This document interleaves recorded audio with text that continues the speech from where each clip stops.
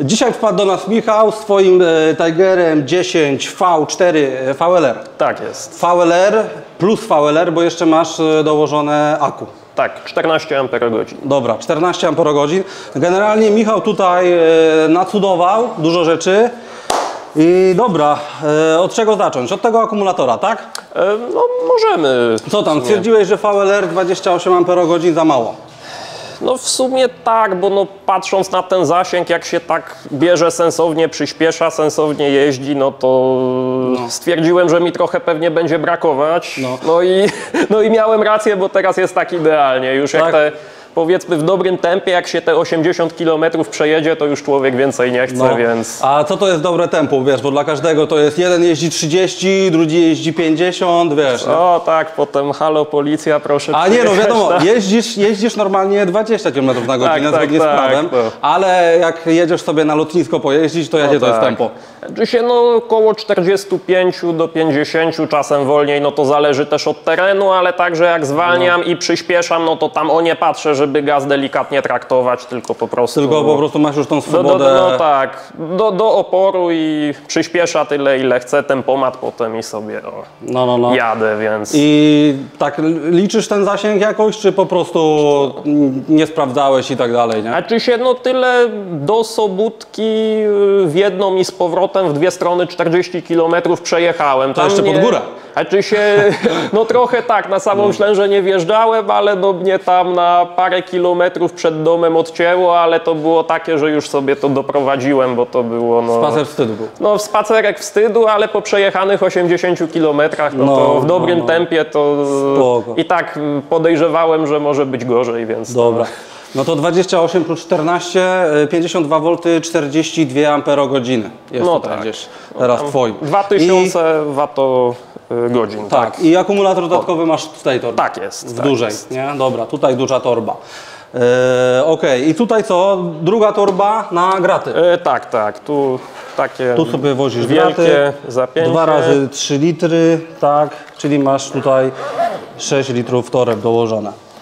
E, dobra, e, torba z dedykowanym mocowaniem, tutaj od No chłopaków, tak. chłopaci ci zrobili, tak, i masz ten. I co, plus te, tego dedykowanego mocowania, to stoi jak beton, nie? No to prawda, szczególnie jak się gdzieś tam po wzdłuż wałów na przykład nad Odrą jak jeździ i tak dalej, gdzie są takie, szczególnie pod wałami, dosyć duże dziury powiedzmy i tak jak się jedzie, no to jest z 30-40 na godzinę, bo nikogo nie ma, ale no tam łupie, góra dół, góra dół, ale się trzyma, więc... Tak, tutaj się, to się, to się trzyma bardzo dobrze. Jeszcze nie naprawdę- mieliśmy przypadku, żeby komuś to pęknęło czy coś, nie? To te mocowania są solidne. Kuba zrobił takie dobre, nie? Zaprojektował i zrobił. E, dobra. E, I tak jak mówię, jeszcze na tych paskach mocowanych i tak dalej, to też to jest takie, no spoko, no jak nie można zrobić dedykowanego mocowania, to ja rozumiem, ale na tych paskach zawsze ten luz po pewnym czasie, szczególnie jak wrzucisz coś ciężkiego, no to ta torba chodzi, nie? I to jest trochę irytujące. A dedykowane mocowanie jest spoko. To prawda. E, no to co tam dalej zrobiłeś? A no, dla mnie pierwsza rzecz, szeroka kierownica to 81 cm motocyklowa. Yy, 68 jest w standardzie. tak, 68 w standardzie, więc no jest e, 13 cm szerzej. Sumarycznie no, dużo lepiej się prowadzi, tak powiem. Ja jeszcze No. sobie gripy założyłem takie jak do MTB są, zamiast tych ergonomicznych, co są w standardzie. Więc szczególnie na jakichś wertepach po prostu trzyma się kierownica, jest pewny chwyt, nie tak jak w ergonomicznych, że potrafi gdzieś ręka e, zjeżdżać, ale to No. wiadomo też, No, co no, kto no, lubi. jasne. E, No i ta kierownica, co niektórzy tam się mogą zastanawiać, czy na przykład, o, że mam szeroką kierownicę, to między pieszymi na przykład nie przejadę, czy coś takiego, bo No mogę właśnie. ich zahaczyć. No drzwi tak? masz 80, Tak, tak. nie? No to niektóre drzwi nie Znaczy wierzysz. się tak, niektóre drzwi muszę wziąć po prostu do, na bok Na ją skok. skręcić na skos i wtedy przejść, natomiast z pieszymi ja wychodzę z założenia, że jeżeli yy, taką kierownicą bym nie przejechał, to węższą też nie powinienem między pieszymi szybko jeździć. Też się więc... zgadzam, no bo i tak musisz jakieś tam, nie wiem, no, no powiedzmy tak. te pół metra No zachować, tak, a te centymetry... wie, więc to tak czy siak, no dla mnie, jeżeli ktoś rozważnie jeździ, no to ta kierownica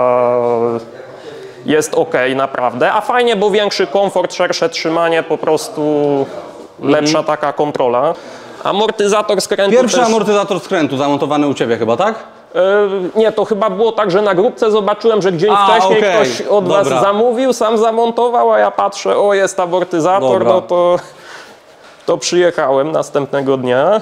I amortyzator skrętu masz tak z dużym oporem, widzę. Tak, tak. Ustawiony. No on przy tych powiedzmy większych takich prędkościach, jak tam gdzieś, nie wiem, pod miastem jak się jedzie, no to fajnie wtedy, bo tak no nie telepie nam. No jest stabilność, prostu, tak. jest stabilność. Nie? Jest Się- no tak samo jak... Jedzie się sztywno przy większych prędkościach, wiadomo, tam przy 40-50 jeszcze powiedzmy można bez amortyzatora. No. Te większe prędkości raczej już by się, ja bym się u siebie przynajmniej skłaniał do amortyzatora skrętu, niezależnie od modelu hulajnodzi, no nawet w motocyklach montują tak, nie? tak, Do tak. amortyzatory skrętu, nie? E, No i dobra, amortyzator jest tutaj zamontowany.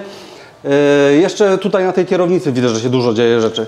Na AliExpress sobie zamówiłem handbary takie. Mhm. To szczególnie jak jest zimno, tak poniżej 5 stopni, pomimo tego, że mam dosyć dobre rękawice, to jak Mhm. się tak przejedzie z 40 km, to już nie dają rady, a z tymi No. handbarami właśnie jest fajnie, że przed wiatrem osłaniają. Sterko to tam standardowo każdy, kto jeździł na hulajnodze, to doceni. E, I teraz tak, tutaj widzę, że odjechałeś daleko z tym przyciskiem. Nie to daleko? Yy, Nie, znaczy się biegów w sumie, jeżeli potrzebuję zmienić, to mam amortyzator skrętu, szeroką kierownicę, to sobie zwalniam po prostu do niższej prędkości, wtedy A, i przerzucam. wtedy I no. tyle. Natomiast te dwa tutaj są przyciski bliżej, no bo tu wiadomo kierunkowskazy, lewo, prawo, trąbik, to potrzeba. Tak, tak. A druga rzecz jest taka, co ja też często w czasie jazdy używam. Tu mam takie przyciski na Bluetootha podpięte do telefonu.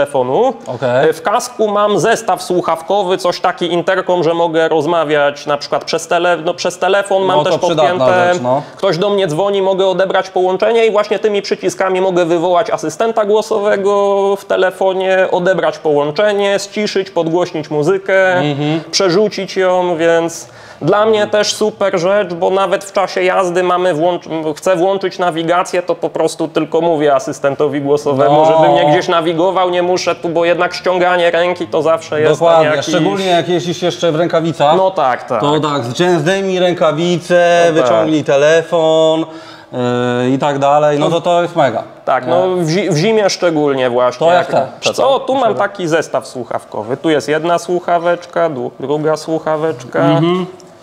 Tu jest. No. Elegancka sprawa generalnie. Więc naprawdę fajnie, ten zestaw jest też fajny, bo nie wygłusza dźwięków z zewnątrz. W czasie jazdy, jeżeli z, kimś gadamy, a nie wiem, ktoś zacznie trąbić, nie wiem, pieszy krzyczeć, ktoś dzwoni To zbiera dzwonkiem, też, no. wszystko zbiera, wszystko słyszymy, więc No. to jest... No i w ogóle tutaj czuję, że w ogóle on tutaj nie przeszkadza raczej. nie? E, tu, tak.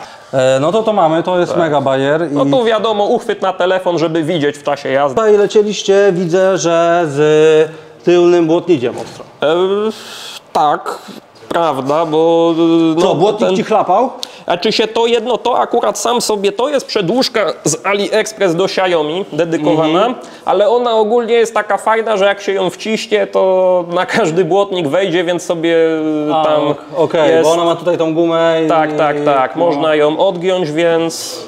Czy tam na, nawet mi nie chlapał, ale czytałem, że niektórym osobom chlapał, niektórym nie chlapał, ale już stwierdziłem, dobra, to i tak miałem No. w domu pod ręką, to... Właśnie z tym chlapaniem błotnika to jest taki temat dziwny, bo mi nie chlapie, Tak, ale niektórym chlapie. Nie, wiesz, Tak, no ale, jest... ale tam już jest- miałem pod ręką, to założyłem. I spornik. Tak, ze stali nierdzewnej, więc Tak. taki dosyć.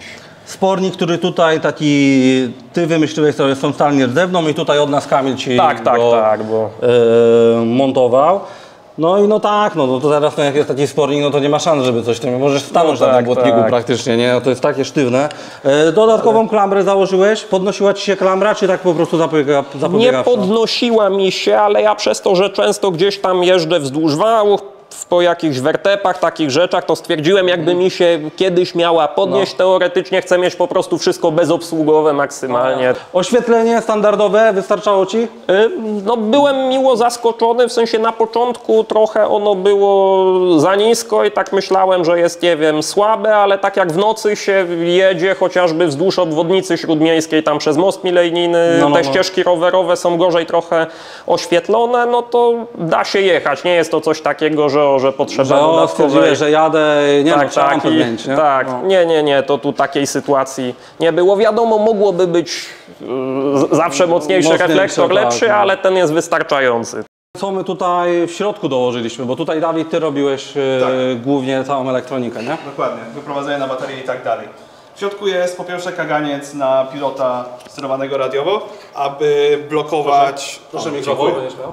Aby blokować y, prędkość w razie potrzeby. Wiadomo, że jeździmy na hulajnogach zablokowanych, no ale kupiliśmy całą hulajnogę, więc korzystamy z całej hulajnogi. E, I do tego mamy jeszcze tutaj lokalizator GPS. I wiadomo, że w tej hulajnodze e, najważniejsza rzecz to jest właśnie wodoodporna elektronika, więc mimo wszystko trzeba zadbać, aby te dodatkowo montowane rzeczy też były wodoodporne, nie? Więc wszystko było doszczelniane w termokurczki, zalewane klejem na gorąco, woda już nic tam nie zrobi. Opona PMT szosowa 10 razy 3,5, tak? Tak, tak, tak. No, dokładnie. E, No to tak to wygląda. E, Zobaczcie sobie. E, Wy, wydaje się, że jest masa rzeczy na kierownicy, nie?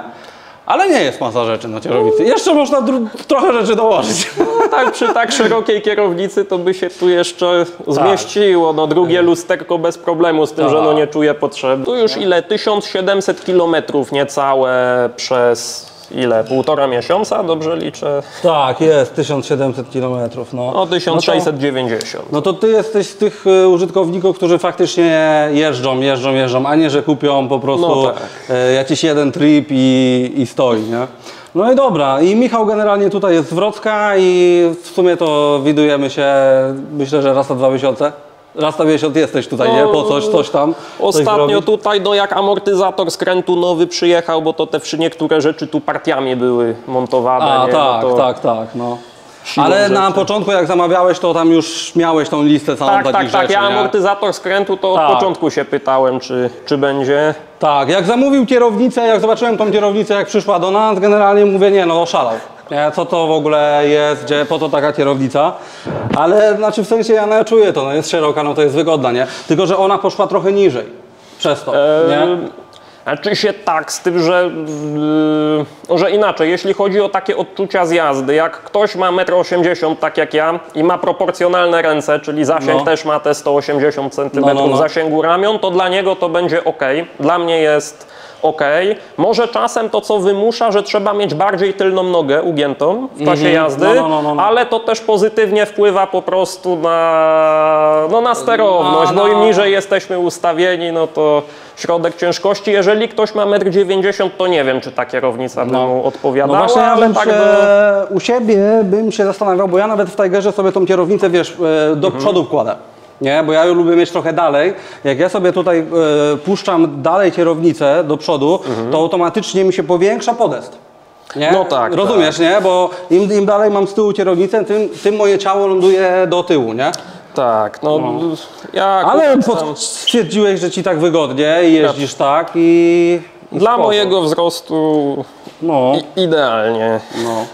No to dobra, no to tyle. Jeżeli macie jakieś pytania odnośnie Tigera 10 Pro e, Michała, to walcie w komentarzach. Michał tam pewnie na YouTubie będzie, to też może odpowiada. Jakieś linki Wam podwrzuca. Jeżeli coś zobaczyliście i chcielibyście sobie u siebie zamontować, to nie ma problemu. Takie mody robimy normalnie też tutaj w HND. Część było robione w HND. Nie, wszystko było robione. Wszystko było w HND, no niektóre te rzeczy to sam tam poznajdywałem No, sobie, po- poznajdywałeś, pomontowałem, tak dalej, ale... No i dobra. To dzięki Michał i niech fura śmiga dalej.